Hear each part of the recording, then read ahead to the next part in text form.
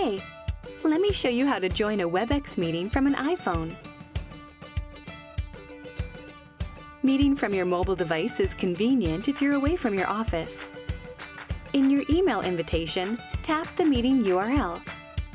If you haven't installed the WebEx Meetings app, you can instantly join the audio meeting by tapping the Call button. For the full meeting experience, we recommend that you tap the Download button to install the WebEx Meetings app from the App Store.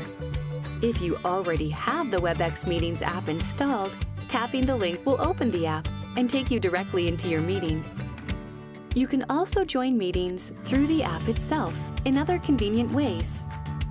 On the WebEx Meetings app homepage, you can join a meeting by tapping the Join Meeting button and then entering the meeting number or personal room URL.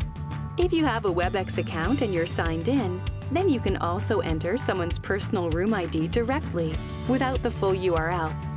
Tap Join to enter the meeting.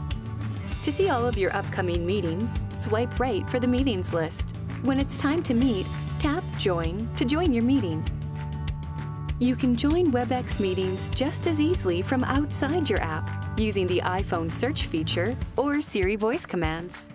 Open Search on your device and enter a meeting name, number, or host information. A list of meetings comes up under WebEx Meet. Tap a meeting entry and then tap Join to join your meeting.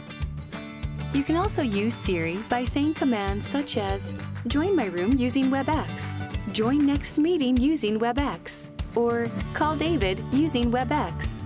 For example, Hey Siri, join my next meeting using WebEx. Visit Cisco Collaboration Help to learn more about Cisco WebEx meetings. Give it a try